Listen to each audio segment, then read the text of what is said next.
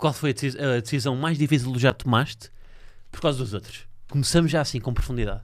Que eu não tomei ou que eu tomei? Que tomaste ou que não tomaste, tanto faz.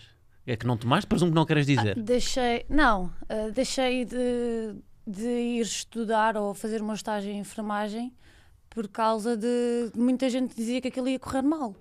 Ahm, A sério? portanto, Sim. Ahm, Mas olha, pensa pelo lado positivo, não tiveste de usar crocos. Não, mas eu fui fazer. Ah, chegaste a fazer? Cheguei a fazer.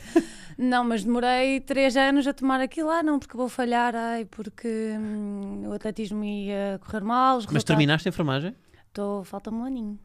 Ah, mas, tá, fazer, mas eh, é, uma, é uma coisa que queres resolver ainda, é isso? Não, porque eu tive, ou seja, são dois anos de estágio. Uhum, Ah, e demorei muito, fiz agora o primeiro ano uhum. e ah, demorei muito até tomar, fiquei três anos sem, sem fazer nada, só deixar os estágios. Sem fazer nada, estavas a fazer o atletismo ao mesmo tempo, não é? Sim, só que pronto, lá está. Ah, a, enferma- a enfermagem é assim o meu grande, grande sonho, portanto. Que é mais que o atletismo?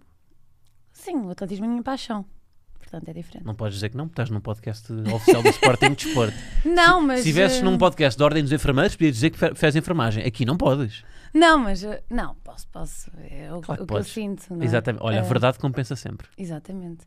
Ahm, o nosso sonho, nós todos temos sonhos ahm, e eu posso ser enfermeira ah, a qualquer hora, portanto, a qualquer hora, a qualquer tempo, a qualquer ano. A partir dos 35 anos pode ser enfermeira. Agora não posso ser atleta a partir dos 35 anos. Então podes conciliar as duas. A enfermagem É difícil. Não, é, não é assim muito fácil conciliar. Assim, Já que com isso- uma vida. Eu achei já- que ias dizer o contrário. O atletismo não é assim tão fácil. eu acho que. O que é que achas que requer mais. É ser atleta de alta competição. Não, é difícil ser atleta de alta competição.